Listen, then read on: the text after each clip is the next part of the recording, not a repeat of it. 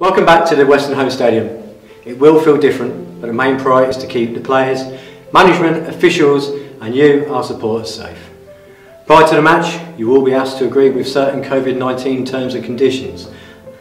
When here, we ask that everyone, regardless if you're internal, external, inside, outside, it is essential that you wear your face covering to prevent the spread of COVID. You should not attend the Weston Homes Stadium if you have symptoms been in contact with anyone who has symptoms or tested positive yourself recently or been advised to isolate as per the test and trace NHS system.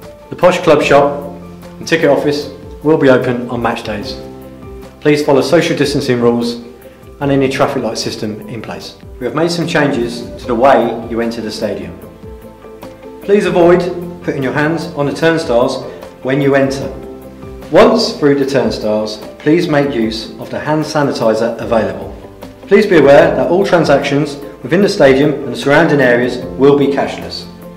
The kiosks inside the ground, unfortunately, will be closed, but it will continue to be reviewed. The toilets will have attendants outside to remind you to socially distance within the facilities and to enforce one-way systems where possible.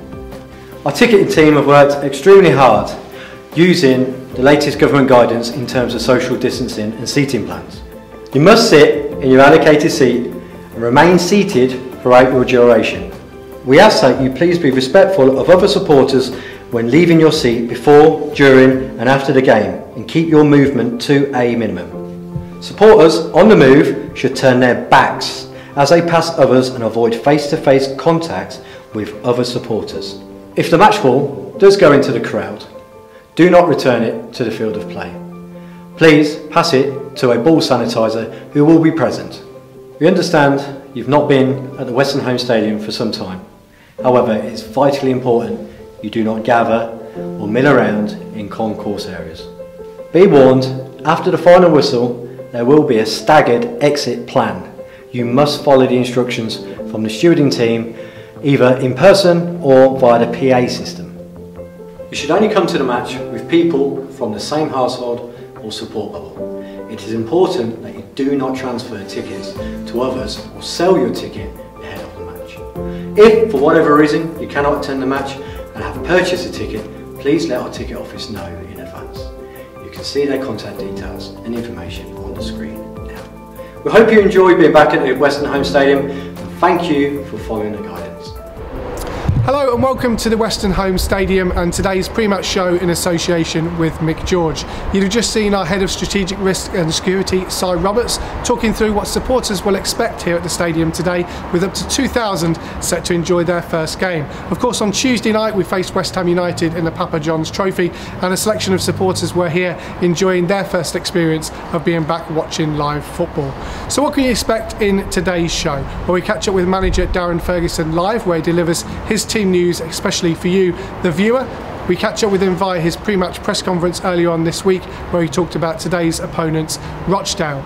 We also catch up with Idris Kanu. Kanu was arguably man of the match in that victory over West Ham United and we speak to him in two parts throughout this show where he talks about playing as a wing-back, his number 10 role, playing as a striker and of course bouncing back from a serious injury last season which could have curtailed his career.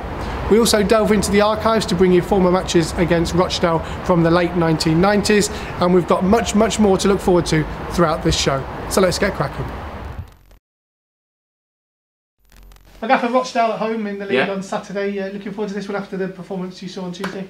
Yeah, very much so. I mean, firstly, the performance on Tuesday gave everyone a lift. Played really well, real energy in the team. Three goals, clean sheet.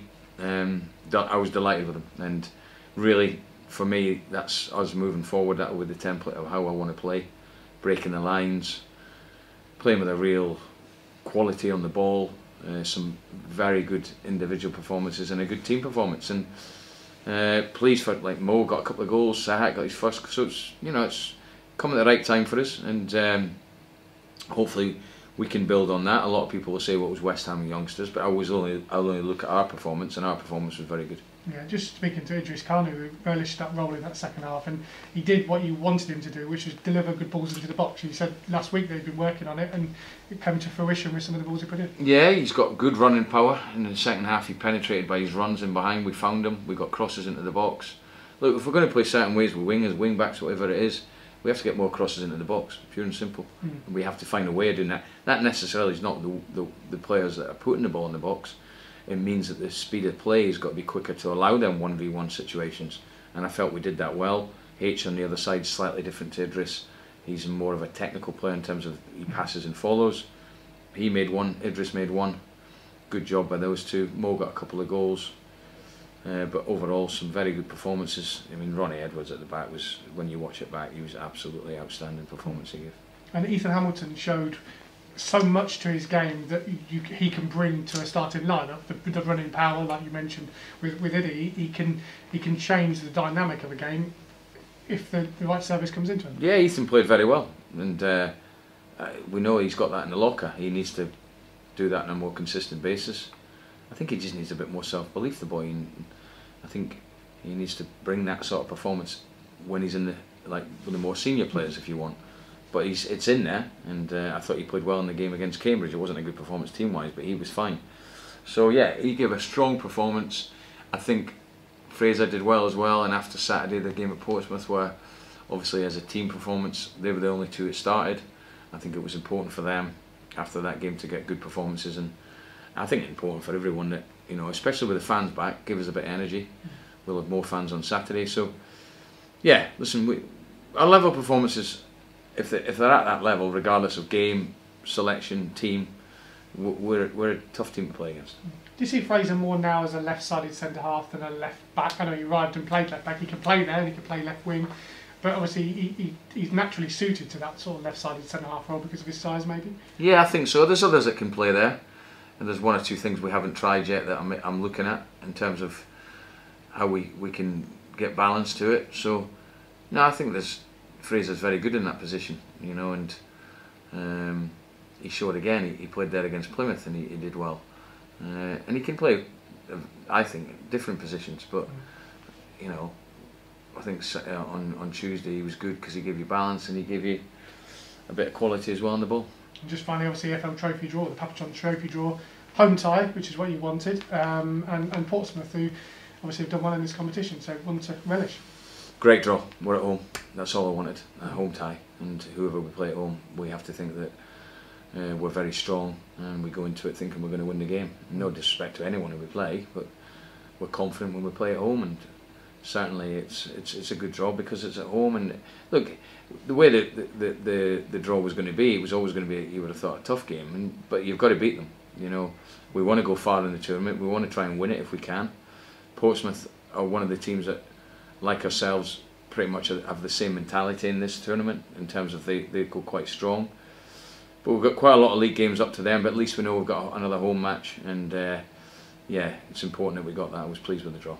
Any team that can beat Plymouth 4 0 away from home is a good team, and Rochdale have done that. Look, they've got real, real belief and real chemistry in how they play. Um, in terms of the movements, the rotations, the ball retention, there's certain things you need to do very, very well against them. You definitely need to play as a team. You can't play as individuals, and especially off the ball. So yeah, they're, they're good on in, in possession. Um, but there's obviously we really need to focus on our own performance. We will go through Rochdale as we do in every other opposition, but really the, the main focus, as it as it is all the time, really is on us. But in particular for these this game coming up, and games moving forward, we need to get our performance level to a standard that can start getting us winning games again. And that's my main focus for this game. In terms of injuries, nothing changed in terms of the bulletin you last game with regards to people coming Do you know what, injury wise, touch wood, we've got one or two close. Ricky's really close, Butler's really close.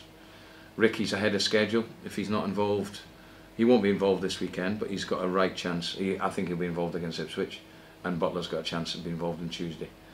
Um, Joe Ward's coming along well. Um, we need them back. There's no doubt about that. Uh, otherwise, Bobby Copping's obviously we've got an issue with him in terms of he's picked up a, a slight head injury again, so we have to look after him. So he'll be missing for a period of time, but we've got a plan in place for him. Um, I'm just trying to think who else there was. I think that's it, mm. isn't it? Yeah, yeah. it is, yeah. I think that's it. Obviously, um, El Presidente, Darren McAnthony back in the building. He was uh, at the game on Tuesday and obviously seemed to enjoy himself just behind the dugout there and, and, and good to have him back in, and because of the long period he's going to be here. Yes, I'm, I always prefer when he's in the country and we have good meetings and good dialogue. We do anyway, obviously, and we speak quite very regularly. Um, we had a good chat before the game on Tuesday. Obviously, we've got certain things that we need to discuss and, and, and deal with. Uh, I still call him the chairman. I, I don't call him El Presidente, uh, but uh, Does he not insist upon it? No. no, I, the chairman to me, and uh, so I I'm glad he's over, and then we can discuss things. And listen, he's, he, Tuesday was pleased, obviously, with, with in particular the second half performance. I listen, he's he's he's like the rest of us. He, he wants to see us winning games. He wants to see us scoring goals. We've got a philosophy at this club that certainly when I'm manager that we want to attack and score goals.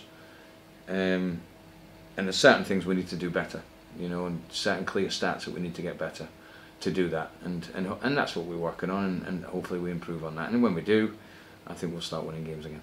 And just finally, should be 2,000 fans. I think there's 1,400 Yeah. sold so far as we tell this at the time we are speaking.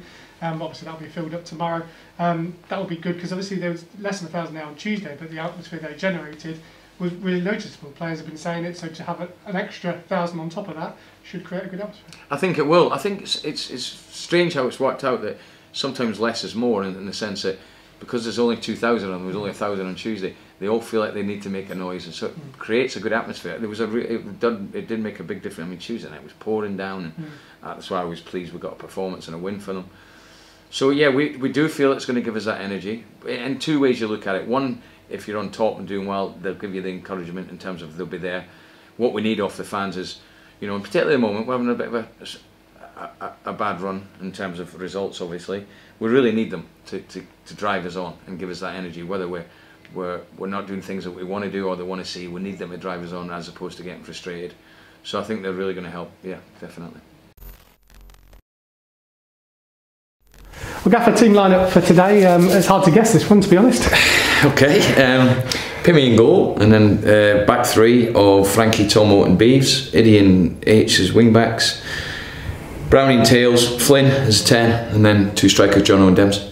Uh, was that a hard decision for you to make, or based on Tuesday night, an easy one given the performances? Well, no, they're, all, they're never easy because you, I got a good squad. Uh, I just felt uh, one or two need to come out, have a look at things. Sometimes it's it's good for them to just come out and and have a bit of a breather, really mentally, because you know it's it's not been a great run, and, and that's why we've got a squad in terms of picking different players to play in different games.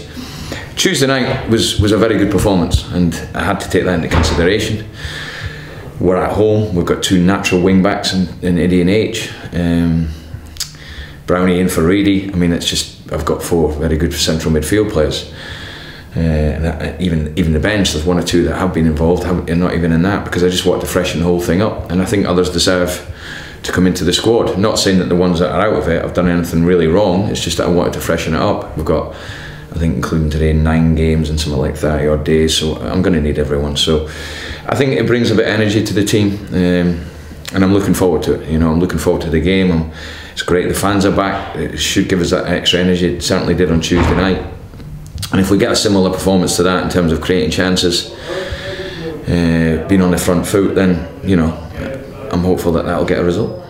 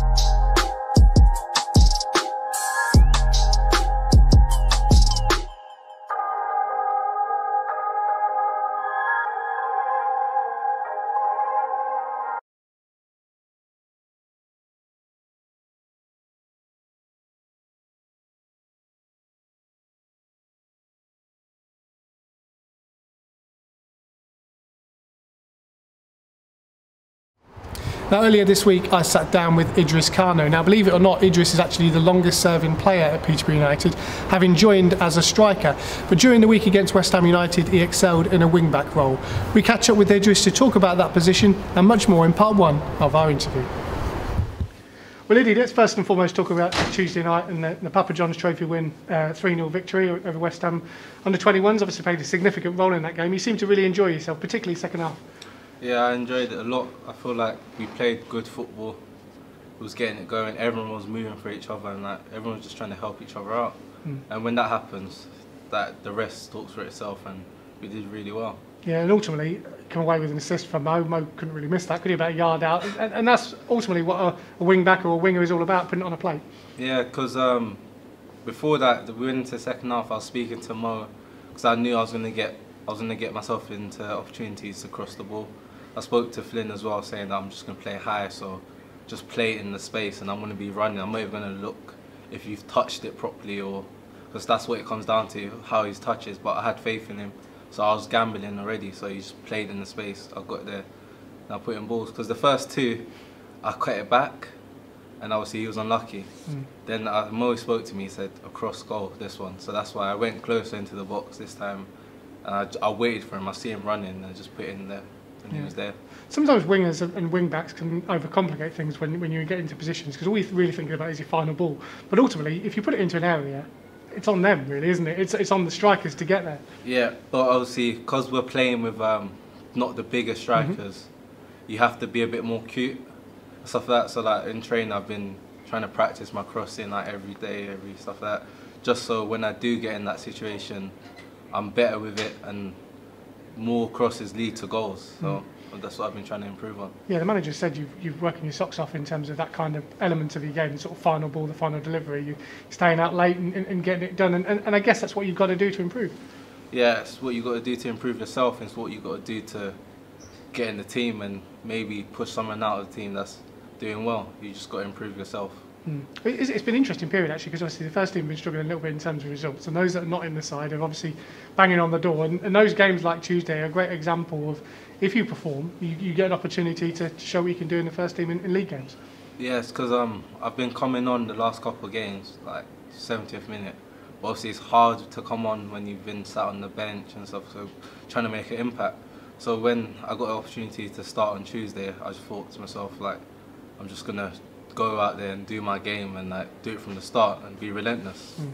It's been an interesting season for, for everybody really, but for you more than any, and Bobby to be fair, sort of in a situation at the start of the season through no fault of your own, and obviously no through fault of Dems, but because you're living with Dems at the time, you had to self-isolate, so you missed the first two weeks of the season, and that, that must have been so frustrating having done so much work in pre-season. Yeah, it was it was very frustrating because I thought like pre-season I did my I was trying my hardest, I was working, doing extra stuff, then for that to happen, you lose a bit of momentum. Like it's football, other people take the opportunity and they cement themselves, so it's even harder to knock them off. But like it's football, so you mm. just got. It was upsetting, but you just got to get on with it and you, you got to build again. So that's what I've been trying to do the last couple of weeks and months. Yeah, you're sort of climbing a mountain from a from a lower end compared yeah. to everybody else, and you know that's why people probably judge you for the second half of the season rather than the first half of the season. Yeah, literally. But as I say, it's football, and you just got to keep on working hard because opportunities come sometimes when you least suspect it. So. Mm. Have you found these under, under 21 games, under 23 games, the, the, regular nature of them a real help to you? Because, you know, I know the manager's been trying to trying to arrange these games to keep fitness is, is high because everyone's going to be needed this season. But from a personal point of view, from a mental point of view, those games, are they really important for you to, to, to know that you're being watched and, and, and you have that opportunity? Yeah, like when the 23 games come on and you haven't played in a while, it's like it's, it's very good because like some people can look at it and think, oh, it's the 23 games, like I'm not gonna do my, I'm not gonna try, I'm gonna sack it off and stuff like that. But that helps no one. It doesn't help yourself because when you do get thrown in, you're not gonna be ready. So when the 23 game comes in, I've played exactly the same way I'll, I'll play if I was in the first team. Mm try to be relentless. I try, I try to practice stuff as much as I can in them games, but I do it properly. Hmm. Because mm. when you get opportunities like Tuesday or if it's first team, you can replicate.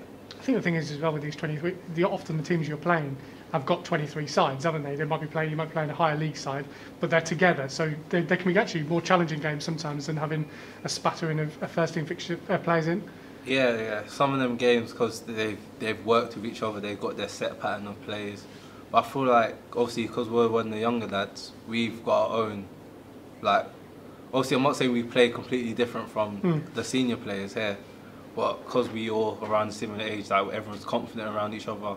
Like I know when Flynn touches it with his right foot on the right side, he's gonna do it. Or I know when Now gets the ball, if I come short, he's gonna play it straight to Sir, and I'm already there on the overlap, and I've got open a space to run into or to drive into. Part two of our interview with Idris Kanu will be coming up a little bit later on in the show. We also delve into the archives to find some classic matches against today's opponents, Rochdale. We head back to the year 1998 with a 2 0 victory and a 3 1 victory over our opponents. They include a first senior goal for youth team graduate Chris Cleaver. Now, we look back at Tuesday night's win over West Ham United, a 3 0 success here at the Weston Homes Stadium. Two goals from Mo Eisa, one from Serhat Tasdemir, and that set up and third round tie against Portsmouth here at the Weston Homes Stadium.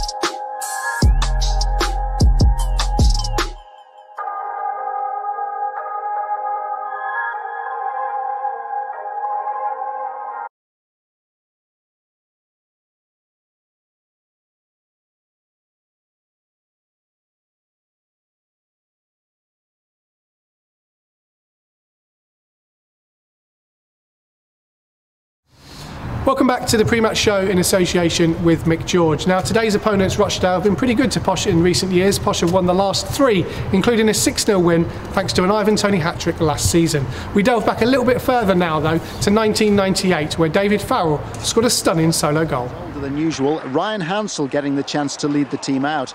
A team almost unrecognisable from last week. Barry Fry made six changes.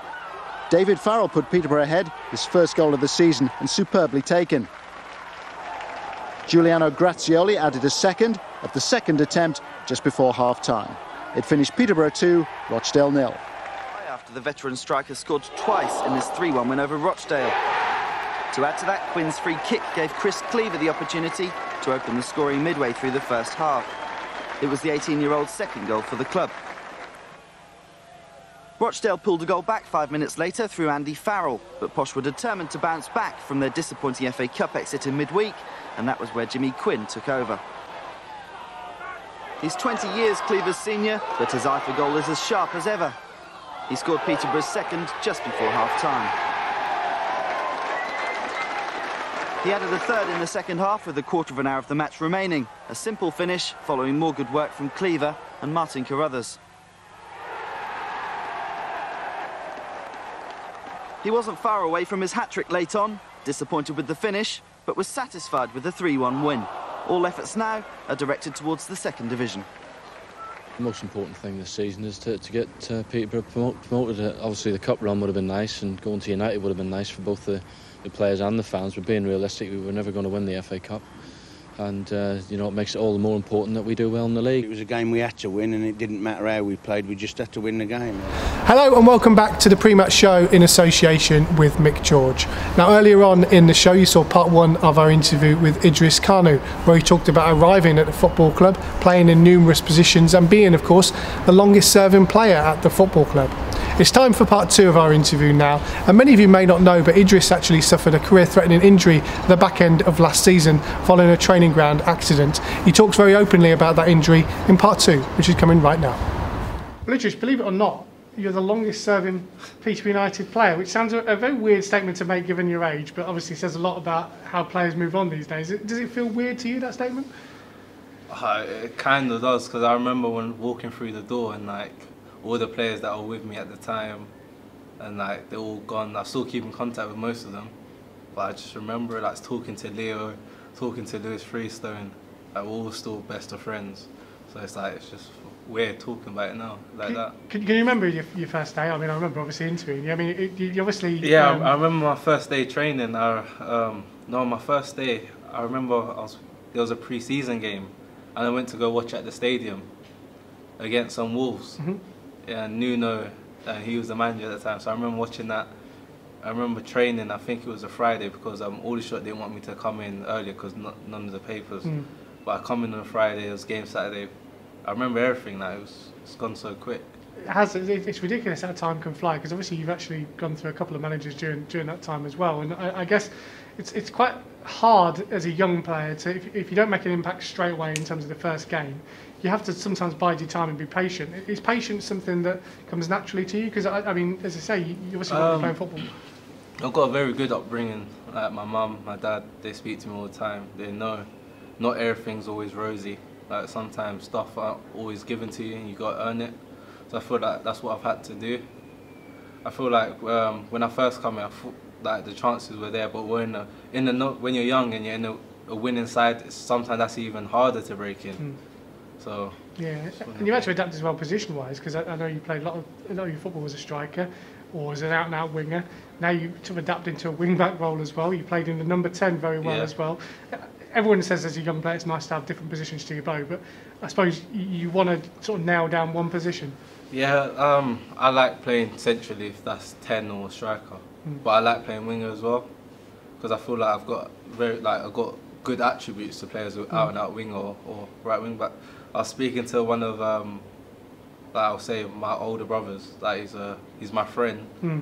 my friend's older brother, and he was telling me like, right wing backs are dire now, like because football's changing, it's evolving, mm. and like now people are looking for set wing backs that are that can defend and they can attack very mm. well. So I, I, thought about it and I was like, yeah, that's very good. Yeah. I mean, it's weird because I remember that Portsmouth game you played um, as a sort of number 10, didn't you? That was last year or the year before last, and you were thriving in that role, and, and everyone was thinking, wow, this is this could be the you know the start of a really good period for you. Did you enjoy that and being Yeah. able to contribute? Because it was crazy because the game before that on against Ipswich, I played wing back the whole game and Mm. I, I thrived as well. Then obviously I went to um, number 10 against Portsmouth. I did well, I did very well. But in, even in the second half, I went back to wing back and I did well as well. So I was thinking, like, I didn't really think about position wise, I just thought I'm playing good football. And that's the main thing, that as a footballer, I'm, I'm growing up. So that's what I was happy about during that period. Mm. And of course, it was all going so well, and then obviously an incident that, that could have ended up costing you your career about a year to the day now. And, and I mean, for those that don't know, I mean, it was a really hairy period for you. Yeah, um, in training, I got um, fractures my my eye socket, so I was like, it could have been much worse. When it happened, I was just hoping like I've just got a like swollen eye or or concussion or something like that. But it wasn't a concussion, which the doctor said would have been worse if I had a concussion, because you, ne- you never know how bad Mm. concussion could be.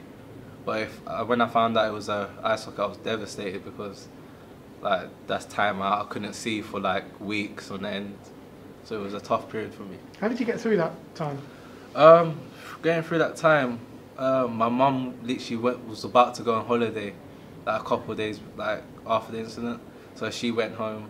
So my missus looked after me. I had family members looking after me at the time, and yeah, that's all I could do really. People don't realise in football that injuries obviously affect you as a player if you get injured, but they obviously affect those that are close to you as well because ultimately they're the ones that are going to be sort of running around looking after you. And sometimes people don't take that for granted a little bit, but as you say, without them during that period, particularly with an injury like yours, you were lost. To, I, Yeah, because I, had, I remember I couldn't I couldn't drive for a while. I remember I still remember the first day I could drive, because my car's been stuck here for a while. Hmm. I was like, I think I'm gonna drive home today. I'm feeling good. So I got in the car, uh, drove back to the house, which is like three minutes away Hmm. from here. I was I was happy because I could drive again, Hmm. buzzing about it. I suppose that's the independent side of things, isn't it? You get something taken away from you you're just used to doing. Yeah. It, it can be really hard to, to, to live without it. Uh, it was very hard because I couldn't do anything. I, had to, I remember I haven't taken cab. I, I wasn't. I haven't taken train in a long time, and I was doing all of them stuff which I wasn't used to. Mm. And, and just finally on, on that, in, in terms of when you come back, with that first day of training, I, I guess you're really nervous, aren't you? You just try to try and get back in again? Oh yeah, I was nervous because I didn't want the thing to be like if I was to fall over, something people would laugh and be like, ah, he's still feeling his eyes, just little stuff like that. So I wanted to just get through it. I felt confident, but it, sometimes it takes a while to to um, build up the confidence because it did. Also, I remember playing against Fleetwood the first game. I come on the striker, I felt good. I Mm. thought this was all going to be rosy and stuff like that. The next game I come on against um, um, Burton as a right wing back, and I felt weird because I haven't played there for Mm. that. And you need, you know, you need, you need lots of fitness to play there, and I felt bad. But it just takes a while. So the whole pre-season, like, I felt like I built the confidence. And now I don't even worry about my eye. My eye feels perfect. And just it's just one of the things you just need to build it up. And like some people don't always understand that. They feel like when you have an injury, you, can, you just have to come back straight away perfect. But it's not like that. Hello and welcome back to the final part of the pre-match show in association with Mick George. Now of course today we could have up to 2,000 supporters for our league fixture with Rochdale. If you're not one of those lucky ones to be sampling live football for a while, then why not buy a match pass via iFollow? £10 match passes are available. Just head to the club website which is www.theposh.com. Thank you for watching today's show. I hope you've enjoyed it. If you've got any feedback, please do email jake at theposh.com. Anything you'd like to see in the show, um, we're happy to listen to all of your comments. Thanks for watching, and if you are here today and watching on your phone, get behind the boys and enjoy the game.